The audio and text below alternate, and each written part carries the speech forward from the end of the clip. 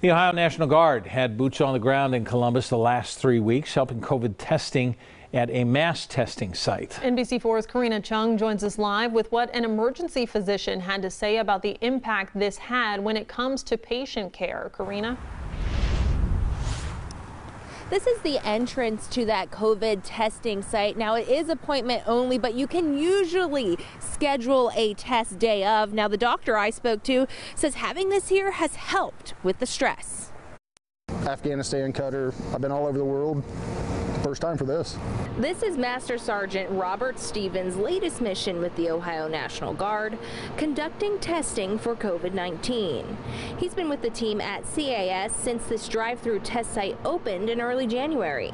The most we did at one day was 1,100 in an eight-hour span. Today, the load is a little lighter. 200 appointments were scheduled for testing. Dr. Mark Conroy, an emergency physician with the Ohio State Wexner Medical Center, says funneling the testing outside of the hospital has helped his team immensely.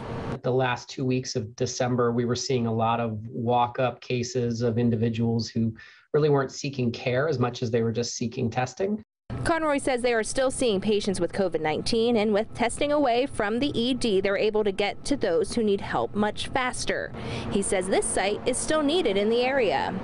As long as those 200 individuals are needing to be tested every day, those are 200 individuals that you know, even a small percentage of them that come to the emergency department would make things even more difficult uh, on the frontline staff. As for Master Sergeant Stevens, he says it's all part of his job.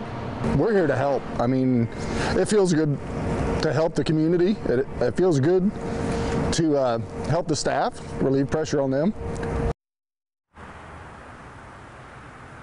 And tonight at 6 o'clock, how long Dr. Conroy would like to see this testing site up and running. Local for you in Columbus, I'm Karina Chung, NBC4.